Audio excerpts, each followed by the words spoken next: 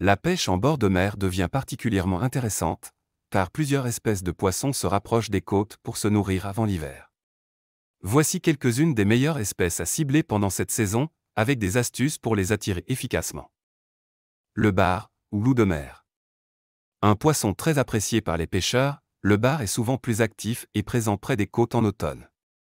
Il se nourrit souvent de petits poissons et de crustacés, surtout au lever et au coucher du soleil. Parmi les techniques recommandées de pêche, le spinning, en utilisant des leurres réalistes imitant de petites proies. Ou le surf casting, en choisissant des appâts naturels comme le crabe ou les crevettes. La dorade royale. Poisson à chair délicate, la dorade se trouve près des rochers et dans les zones sableuses.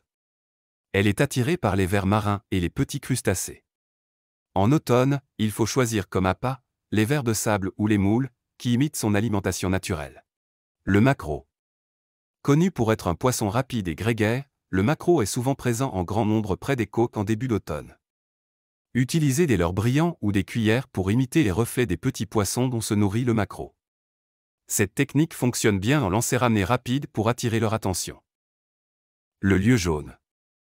Poisson apprécié pour sa combativité, le lieu jaune est souvent plus proche des côtes en automne, dans les eaux légèrement plus froides.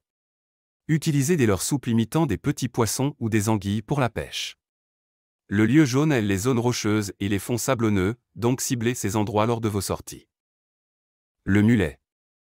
Très présent en automne, surtout dans les estuaires et près des plages, le mulet est un poisson qui se nourrit d'algues et de petits organismes. Il est souvent attiré par des appâts végétaux comme le pain ou des boules de pâte. En bord de mer, il est souvent actif dans les eaux peu profondes. Le sard.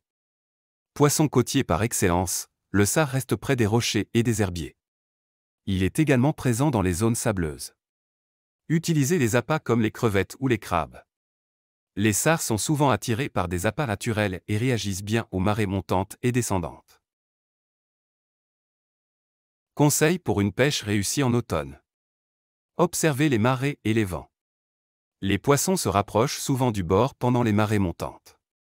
En automne, les journées venteuses créent des vagues qui ramènent de la nourriture, ce qui attire les poissons. Choisir les bons appâts.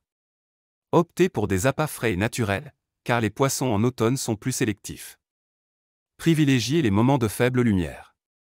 Les poissons se déplacent davantage à l'aube et au crépuscule, quand la luminosité est plus basse. En automne, ces espèces offrent une expérience de pêche variée et passionnante, avec des conditions favorables pour les pêcheurs en bord de mer.